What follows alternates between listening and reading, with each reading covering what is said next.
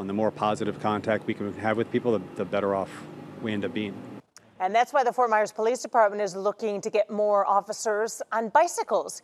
We've seen officers on two wheels downtown for years, but now the department wants to expand the patrols. NBC2's Michael Raimondi talked to them today about the new push for more bikes.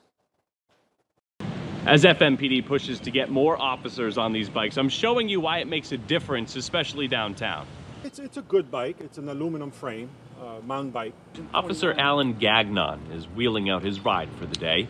He's strapping up before heading out to patrol on his bicycle. Yeah, I do probably six, seven hours a day on the bike. For 13 years, he's patrolled downtown Fort Myers on two wheels, sometimes riding up to 20 miles during one shift. Yeah, yeah, the bike keeps me in shape, yes. As he rides around, he says hello to people he knows So, Tommy? Yeah. and stops to treat some friends. I know. It's, it's a lot more personal.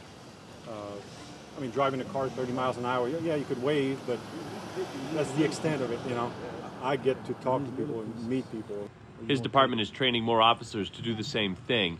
FMPD says having more officers on bikes allows them to patrol areas they can't get to with a car.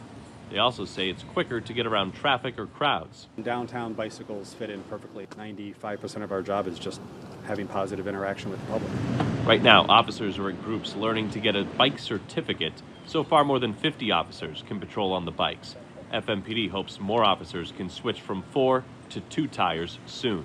And the more positive contact we can have with people, the, the better off we end up being. I'm out, you know, every day. Just I talk to people all day long. That's what I do. Reporting in Fort Myers, Michael Raimondi, NBC2.